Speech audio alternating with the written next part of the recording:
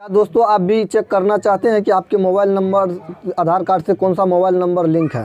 तो इस वीडियो के अंत तक ज़रूर बने रहिएगा, क्योंकि इस वीडियो में दोस्तों मैं बताया हूँ कि आप अपने मोबाइल से कैसे चेक कर सकते हैं कि आपके आधार कार्ड में कौन सा मोबाइल नंबर लिंक है। दोस्तों, आप अपना मोबाइल नंबर या आप अपना दोस्त का या अपना फैमिली में किसी का भी आधार कार्ड में चेक कर सकते हैं कि किसका कौन सा मोबाइल नंबर लिंक है, या कोई भी मोबाइल नंबर लिंक नहीं होगा, वो भी आप चेक कर सकते हैं दोस्तों। तो प्लीज़ इस वीडियो के अंत तक ज़रूर बने रहिएगा। आपका ज़्यादा टाइम वेस्ट नहीं करते हुए चलिए इस वीडियो को शुरू करते हैं।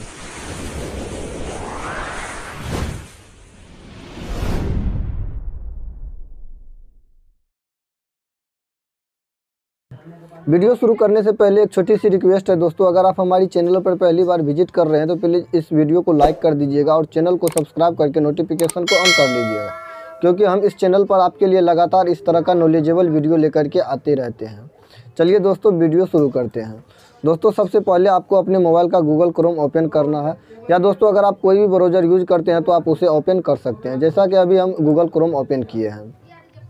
ओपन करने के बाद दोस्तों, आपको इस तरह का इंटरफेस आपके सामने आएगा। तो दोस्तों, यहाँ पर आप सर्च बॉक्स देख सकते हैं। इस सर्च बॉक्स में दोस्तों, आपको सिंपली टाइप करना है यू आई डी ए आई लिख करके आपको सर्च कर लेना है। जैसे ही सर्च करते हैं दोस्तों तो इस तरह से नेक्स्ट पेज ओपन होता है। आई का ऑफिशियल वेबसाइट है दोस्तों, यहाँ पे आपको सबसे ऊपर वाले पे क्लिक करना है। जैसे ही क्लिक करते हैं दोस्तों, ये नेक्स्ट पेज ओपन हो जाता है। दोस्तों, अगर आप, आपको अपने मोबाइल से अगर आधार कार्ड डाउनलोड करने नहीं आता है तो मैं पहले से वीडियो अपलोड कर दिया हूँ। लिंक डिस्क्रिप्शन में है। आप जा कर के वो वीडियो देख सकते हैं। और वो वीडियो देखने के बाद दोस्तों, आप आसानी से आधार कार्ड डाउनलोड कर, करना सीख जाइएगा। उसके बाद दोस्तों, आपको सबसे नीचे की तरफ़ स्क्रॉल करना और नीचे में तीन नंबर में आपको दोस्तों आधार सर्विस का ऑप्शन मिलता है। आपको आधार सर्विस के ऑप्शन में दोस्तों यहाँ पर देख सकते हैं, आपको वेरीफाई एंड आधार नंबर का एक ऑप्शन है। आपको सिंपली मोबाइल नंबर चेक करने के लिए इस वाले ऑप्शन पर क्लिक करना है। जैसे क्लिक करते हैं दोस्तों तो इस तरह का इंटरफेस आपके सामने आ जाता है। इस तरह का इंटरफेस आने के बाद दोस्तों, यहाँ पर आपको आधार नंबर डालना है। यहाँ पर दोस्तों वो आधार नंबर डालना है। जिस आधार नंबर में आप चेक करना चाहते हैं कि कौन सा मोबाइल नंबर लिंक है या कोई मोबाइल नंबर लिंक नहीं है। तो जैसा कि दोस्तों यहाँ पर चलिए हम अपना आधार नंबर इनपुट करते हैं।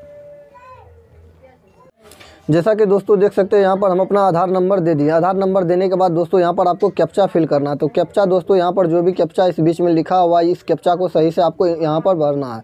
अगर दोस्तों कैप्चा का पता नहीं चल रहा है तो आप यहाँ से रिफ्रेश करके दूसरा कैप्चा यहाँ फिर से जनरेट कर सकते हैं। तो चलिए इस कैप्चा को हम यहाँ फिल कर लेते हैं।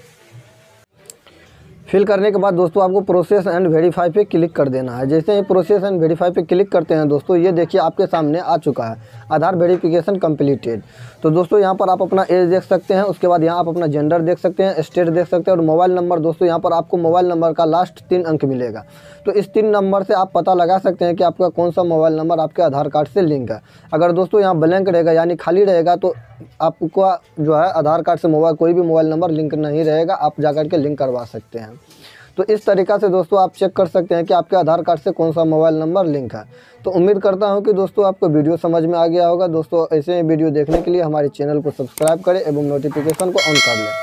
ताकि इस चैनल पर कोई भी वीडियो अपलोड करे तो आपसे मिस ना हो। दोस्तों, चलिए मिलते हैं नेक्स्ट वीडियो में। तब तक के लिए थैंक्स जय हिंद।